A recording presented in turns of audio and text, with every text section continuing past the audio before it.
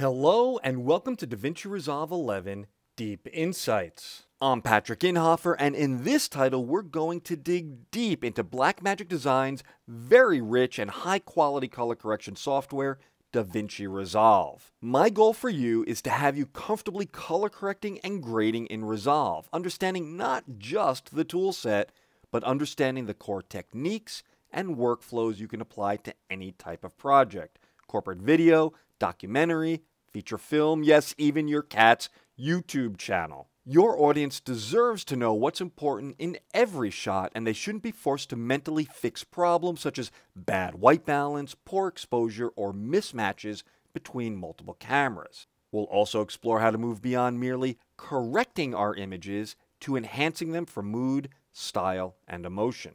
To get you started on your journey, I'm going to take time early on deconstructing the operating system and hardware that Resolve supports. You'll also learn the differences between the paid and free versions of DaVinci Resolve to help you decide if you need to upgrade to the paid version. And yes, you can use either version with this training.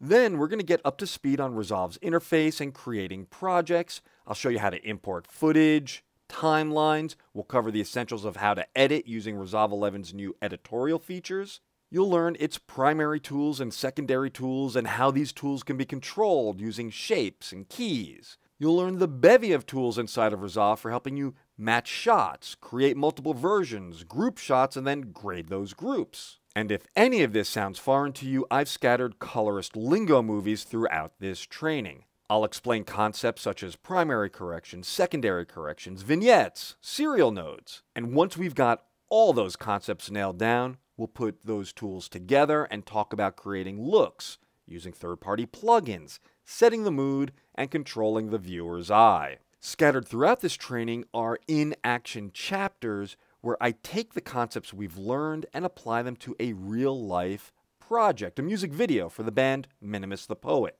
we're going to pull together a Hero Shots timeline, which is a subset of shots from the overall music video, and we'll apply these core DaVinci Resolve concepts so you can see how a professional puts them into action.